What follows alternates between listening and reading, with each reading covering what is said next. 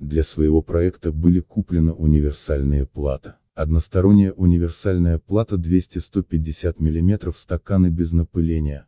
Указана стоимость за лот 5 штук, стоимость указана с доставкой. Односторонняя универсальная плата 15 на 20 см. Толщина стеклотекстолита 1, 5 мм. Диаметр отверстий 0, 9 мм. Шаг отверстия 2, 54 мм. Дополнительные фотографии. 5 контактных площадок соединены между собой в ряд. Ряды не соединены, между рядами и по периметру платы идет непрерывная дорожка, можно использовать и как общую для питания.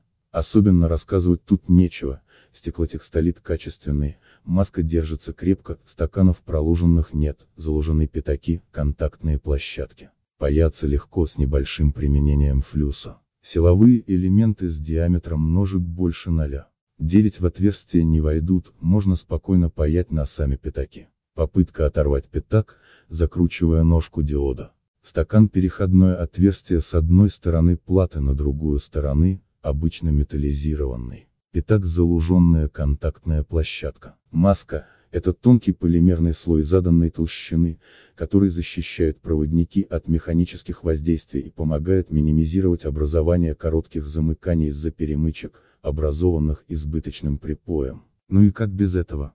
Погоня, погоня, погоня. Пожалуйста не забудьте поставить лайк и написать комментарий.